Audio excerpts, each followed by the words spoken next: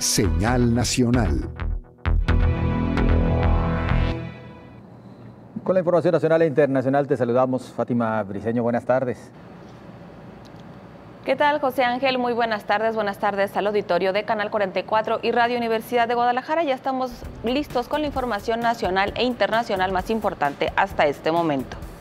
El subsecretario de Seguridad Pública, Ricardo Mergía Verdeja, confirmó que fueron cinco detenidos en Jalisco y once más en Guanajuato, luego de los disturbios registrados en ambas entidades la noche del martes 9 de agosto.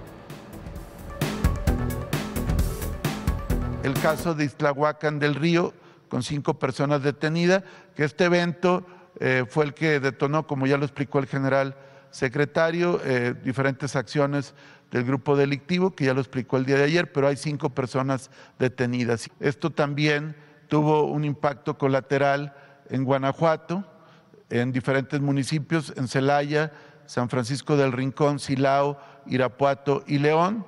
Y ese mismo día fueron detenidos y puestos a disposición del Ministerio Público 11 personas, quienes se conducían en vehículos, motocicletas, eh, quienes poseían armas, cargadores, cartuchos y se les aseguró también garrafas de gasolina, con lo cual perpetraban eh, los incendios en estos lugares. Ya están 11 detenidos que sumados a los cinco de Jalisco implican que por estos eventos fueron detenidos hasta el día de hoy 16 personas, quienes ya están a disposición del Ministerio Público correspondiente.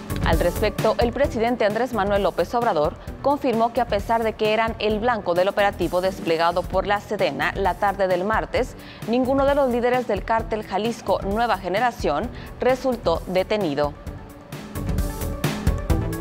En otra información, este martes se dio a conocer sobre la captura de Gilberto Portillo, alias El Shakira, identificado como uno de los operadores y familiar de José Noriel Portillo Gil, alias El Chueco, en Urique, Chihuahua.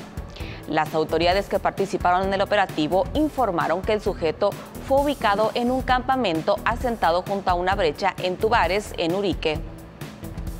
Elementos de Sedena en coordinación con la Fiscalía General de Chihuahua lograron la detención de Gilberto N., alias El Shakira, en posesión de droga y armamento, y el detenido es primo y hombre de confianza de José N., alias El Chueco, presunto responsable de los homicidios referidos. Además, se le detuvo con un, con un arma larga y 2018 pastillas de fentanilo fue puesto a disposición de la autoridad correspondiente, la cual ya solicitó su vinculación a proceso penal. El detenido es familiar directo de El Chueco y uno de los brazos operativos principales de esa organización criminal en la zona, añadieron las dependencias. El Chueco es buscado por una de las autoridades por su responsabilidad en el asesinato de los dos jesuitas y un guía de turistas en junio pasado en Cerocagui, Urique y en su búsqueda se ha detenido a 19 personas. En otros detalles, mujeres de Ciudad Juárez, Chihuahua, denuncian la brutal ola de violencia que se vive en la entidad. Activistas de Ciudad Juárez en México alertan por una brutal ola de violencia contra las mujeres.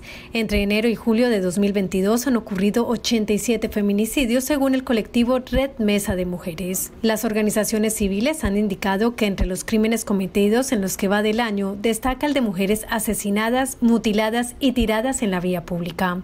Las autoridades catalogan que las mujeres asesinadas eran parte del crimen organizado, lo que genera que la investigación de sus muertes esté dirigida por la Fiscalía General del Estado y no por la Fiscalía de la Mujer. Esta ola de violencia ocurre mientras México afronta una crisis de violencia machista a nivel nacional, con más de 10 mujeres asesinadas cada día según ONU Mujeres. En otra información, los vuelos del Aeropuerto Internacional de la Ciudad de México se reducirán este año con el fin de enfrentar el problema de saturación. Así lo informó el presidente Andrés Manuel López Obrador, quien afirmó que la decisión no tiene que ver con los trabajos de rehabilitación en la Terminal 2.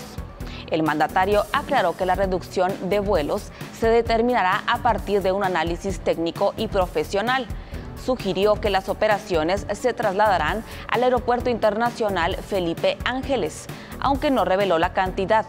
López Obrador también anunció que los trabajos de reforzamiento de la Terminal 2 del Aeropuerto Internacional de la Ciudad de México, México, comenzarán este año y estarán a cargo del gobierno de la Ciudad de México. En otros detalles, el Banco de México subió este jueves su tasa de interés de referencia en 75 puntos bases a 8.5%, ante la inflación que se mantiene en un máximo de más de dos décadas. En un comunicado, Banjico señala que las presiones inflacionarias acumuladas derivadas de la pandemia y del conflicto bélico entre Rusia y Ucrania continúan afectando a las inflaciones general y subyacente. Esta última excluye los precios más inestables como energía y alimentos.